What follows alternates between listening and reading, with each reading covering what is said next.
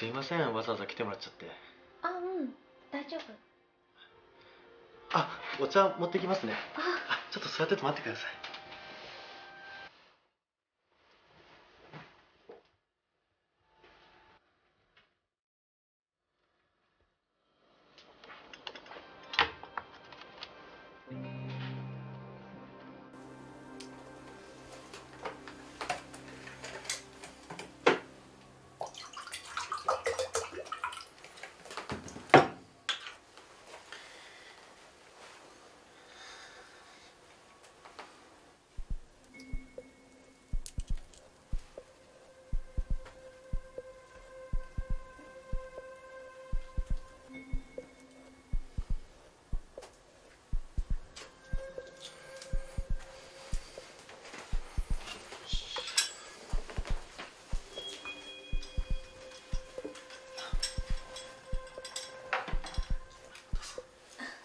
りがとう。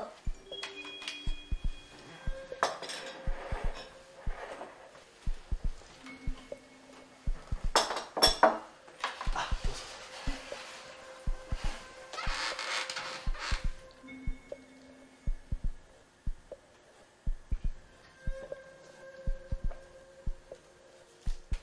それで相談って？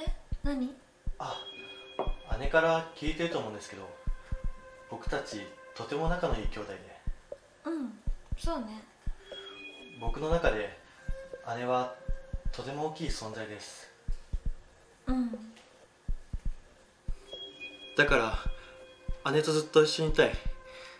いつもそう思ってるんですけどなかなか難しくて。そうね。お姉ちゃんもいつまでもたけし君につきっきりってわけにはいかないしねそうなんですけど。だけど僕はお姉ちゃんと一緒にいたいんです。